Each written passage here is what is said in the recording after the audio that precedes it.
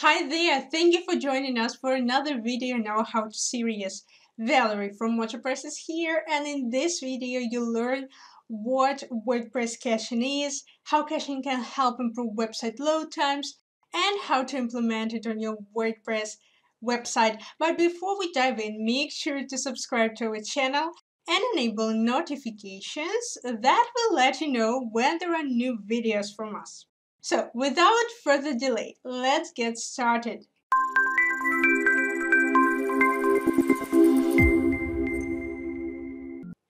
To begin with, caching is the storing of frequently used data so it can be accessed swiftly.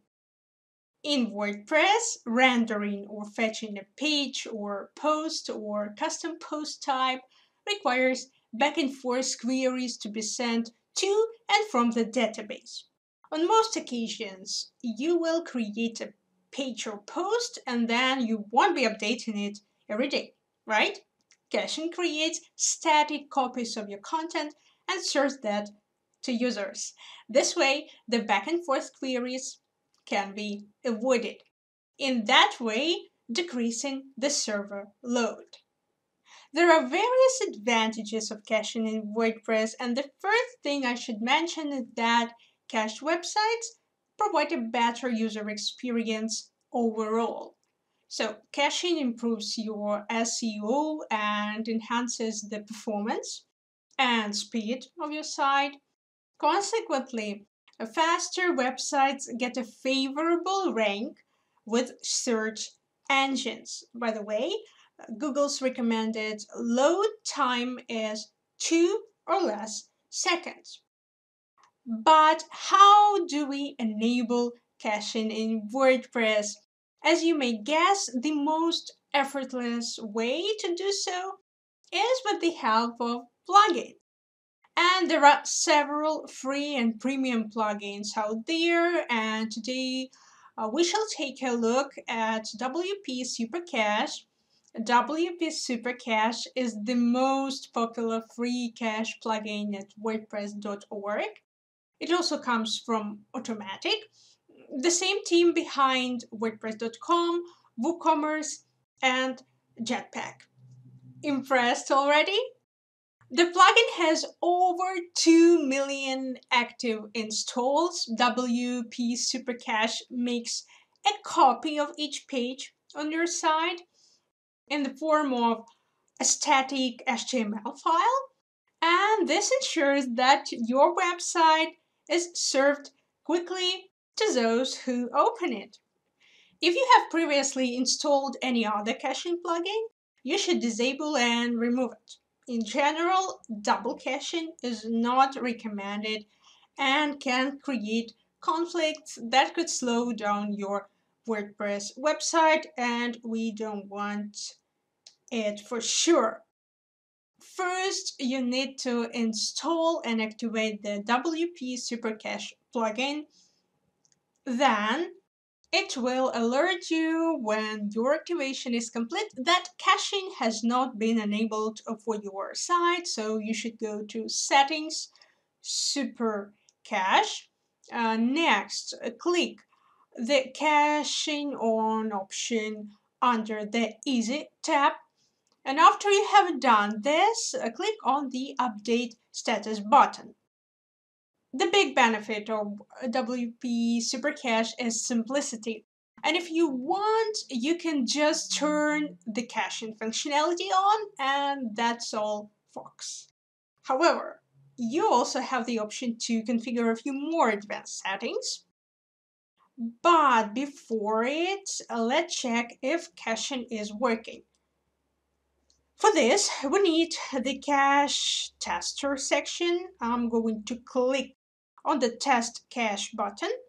And what's going on during this process, WP Super Cache will retrieve your site twice and compare the timestamps for both pages. And if the timestamps match, uh, this indicates that caching is active, everything is all right, everything is working.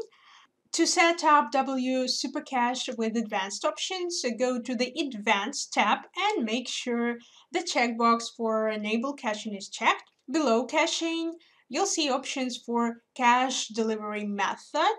We recommend using uh, the simple option if you're a newbie and you haven't dealt with editing your server files. So it's better opt for simple uh, after that, we're going to work with the miscellaneous section and check the boxes that say compress pages so they're served faster to visitors. So to make them more accessible, next, cache rebuild. This function will show an older cached version of the site when a new cache file is generated. Uh, also, I'd recommend activating a 304 browser caching, and this tells the browser if a page is updated since the browser last requested it, and if the page is updated, the browser recaches the new files from the site, and if the page is not updated, the browser loads files from the visitor's local storage.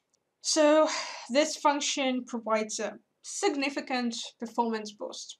And if you want to keep certain parts of a web page dynamic uh, during caching, you can enable dynamic caching by clicking the checkbox that says enable dynamic caching, especially if your site has pages with frequently changing content. Now let's update the status.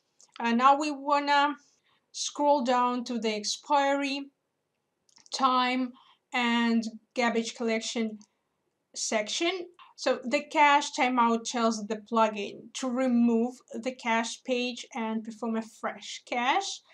So for standard websites, you can increase the number to 3600 seconds and then don't forget to change expiration by default, the plugin will cache all the pages on your site. However, WP Super Cache allows you to have pages that you don't want to be cached. Uh, for example, dynamic pages like products uh, and checkouts should not be cached, so you can make some adjustments here. So, and don't forget to save settings button. Next, by going to the Content tab, uh, you can view detailed statistics about how much content you have stored in your cache. Moreover, you can choose to either delete the expired cache or delete all cached files.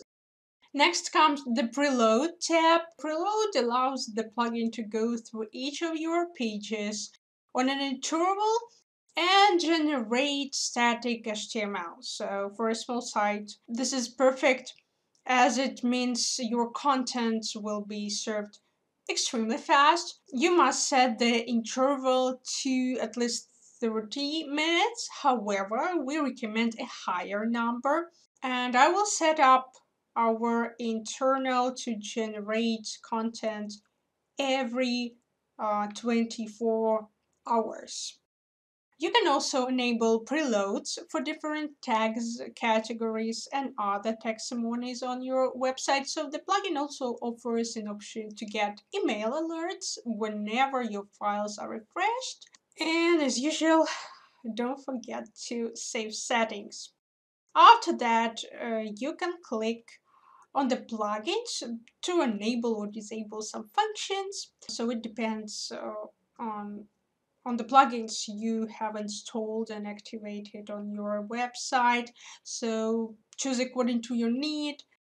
We have one more tab. To be more precise, it's a CDN. So uh, Content Delivery Network. And it's a great way of boosting your website's performance. So it lets you store static content on a network of servers spread all over the world, uh, serving it from location closest to the user. So frankly speaking, setting up the CDN with WP Supercache is not a compulsory program for beginners, so it will require some experience with CDNs An easy method will be with Cloudflare.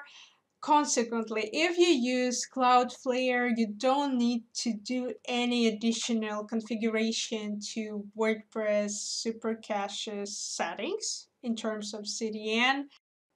If you want us to make a video on how to set up Cloudflare's free CDN on your WordPress site, let us know.